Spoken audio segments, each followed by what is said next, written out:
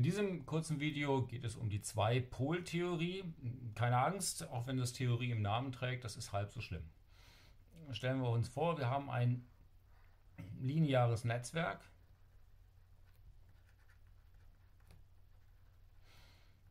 Dann haben wir daran zwei Anschlüsse.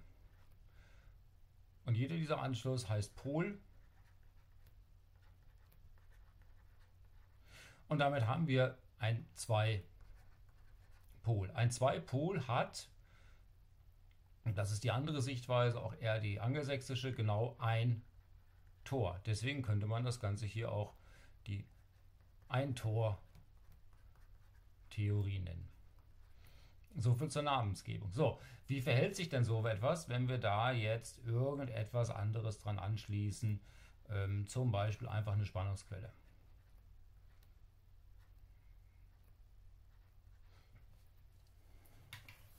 Naja, eigentlich kann dieses Ding ja nur bestehen,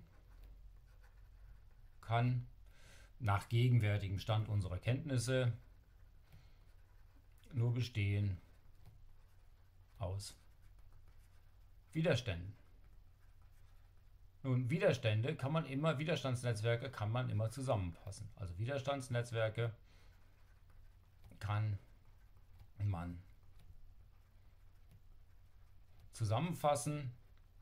Und damit ist mindestens plausibel gemacht, dass man so etwas immer umformen kann in einen einfachen Widerstand. R äquivalent. Und der wäre in diesem Fall einfach bestimmt aus dem, was wir hier oben schon haben, nämlich U und I gleich U durch I. Oder irgendwie anders bestimmt.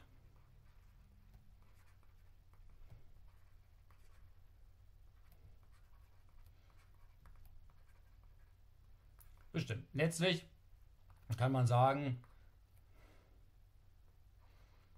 jeden linearen, rein passiven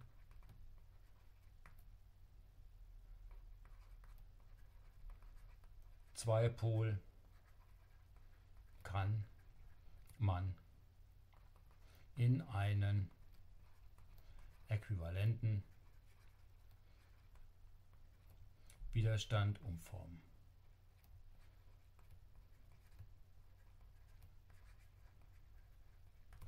So, wenn man das kann, was passiert denn nun, wenn ich ähm, so etwas habe? Ich habe ein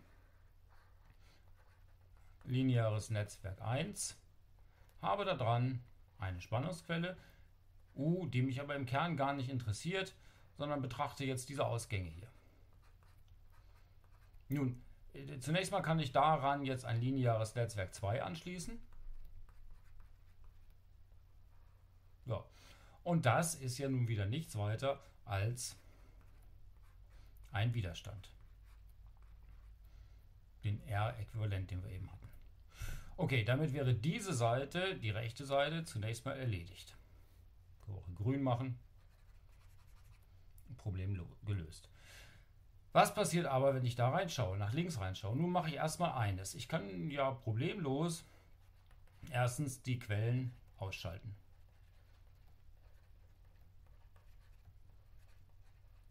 Nun, was man dann hat, dann ist das letztlich sowas hier.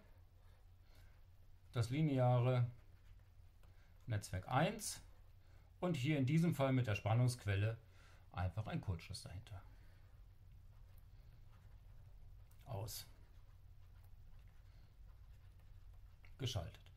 Okay, da reingeschaut und gemessen, entspricht das hier nichts weiter als einem R äquivalent 1. So, in etwa. Wie ich die Leitung jetzt zeichne, ist ja nun egal. Okay, was passiert jetzt aber, wenn ich das, die, die Quelle wieder einschalte?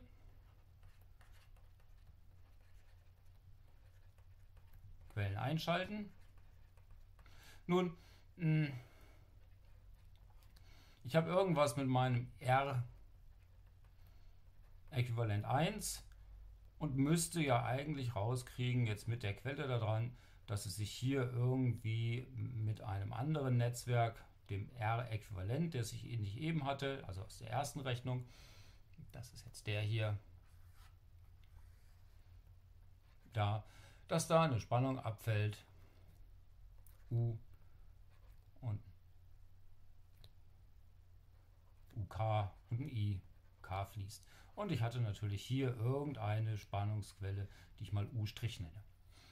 Ja, was kommt dabei raus? Es muss natürlich sich so ergeben, das kann nicht anders sein. Was dabei rauskommt, ist, dass auch ein aktives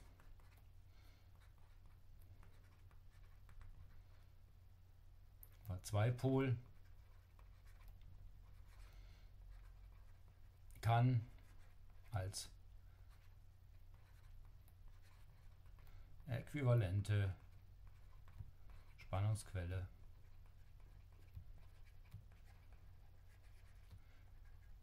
mit Innenwiderstand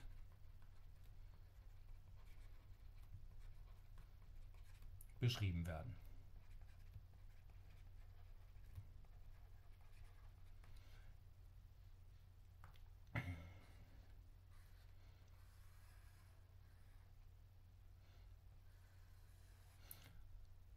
So, das ist jetzt zunächst mal nur für eine argumentiert, aber drittens gilt das auch für mehrere Quellen.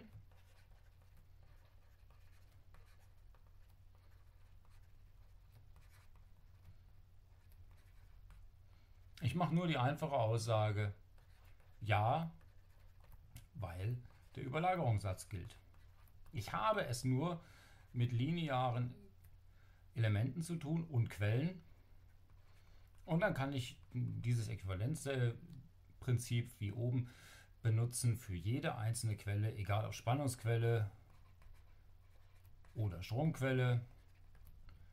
Völlig egal. Ich kann jederzeit ähm, so ein äquivalentes U' bestimmen und ich kann jederzeit so einen Innenwiderstand hier bestimmen, wie der da steht. Das Ganze gilt auch, gilt natürlich auch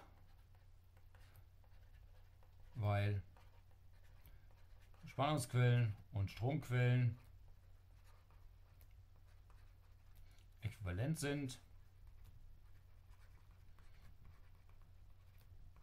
Gilt alles auch für Stromquellen entsprechend.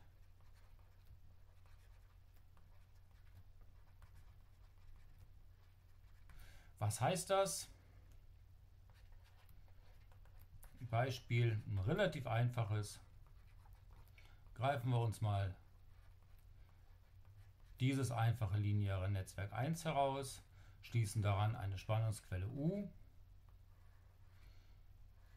und schauen uns an, was denn, wenn das R1 und R2 sind, passiert und womit man das ersetzen könnte. Nehmen wir beispielsweise ein RL. Ja, was würde ich zunächst machen? Ich würde zunächst mal bestimmen, was passiert denn eigentlich, wenn ich RL auf unendlich setze, also einen Leerlauf annehme, dann ist doch U K gleich U mal R2 durch R1 plus R2. Naja, und dieser äquivalente Widerstand, wie groß wäre der?